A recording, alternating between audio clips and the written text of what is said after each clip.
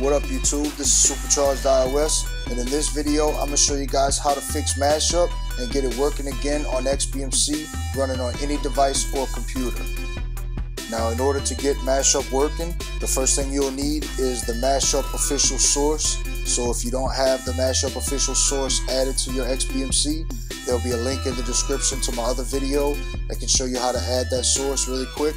And for those of you on the desktop version of YouTube, I'll have a link right on the screen. You can just click on that and then you'll be ready to move on. Once you've got the mashup source added to your XBMC, just go into System Settings, Add-ons, Get Add-ons, and locate the mashup all add-ons by Mash2K3 repo and click on it. And you want to on Windows you want to right click. On Mac you want a two finger tap on any iOS device, you want to just hold your finger on the repo, and it works the same also on any other touchscreen tablet or device. So you just hold your finger on it for a couple seconds and then pick your finger up, and you'll see these selections right here. And for any Android TV box, all you have to do is use the menu button of your remote control. So on most remotes, there is a menu button just locate that button and bring up the add-on information and go ahead and click on that. And then you want to click uninstall just like that and then hit yes.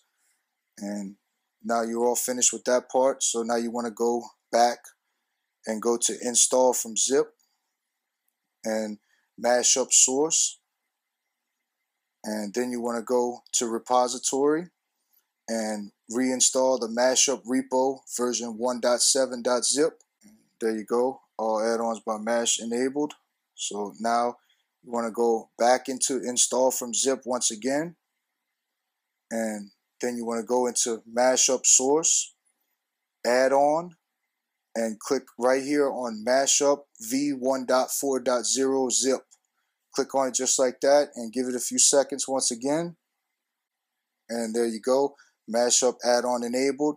Now, as long as you do the process exactly like this, your mashup will be installed and it'll work perfectly. So now let's go into the video add-on section and locate the mashup add-on. Go ahead and launch it.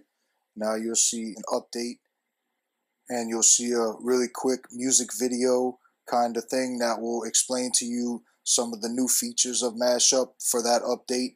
So once that's finished, just go ahead and go back and exit Mashup and then go back into the add-on and then you can go ahead and scroll down and check out whatever you'd like.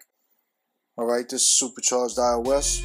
This was a quick video showing you guys how to get Mashup working again on XBMC running on any device or computer. Hope you guys found this tutorial pretty helpful. If you did, please do me a favor and click the like button. And also like my page at facebook.com forward slash charged iOS. Follow me at twitter.com forward slash charged iOS. And if you haven't already subscribed to my other channel, please do at youtube.com forward slash extreme tech global. Thank you guys for watching. See you in the next video. Peace.